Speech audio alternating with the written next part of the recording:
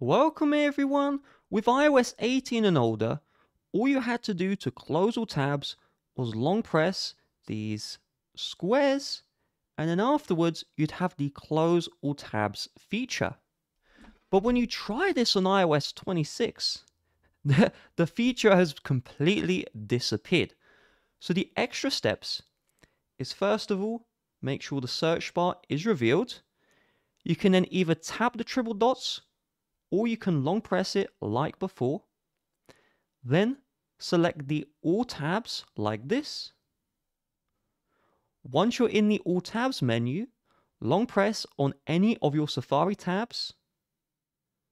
Release when this menu appears and there is the Close Other Tabs option in iOS 26 and newer.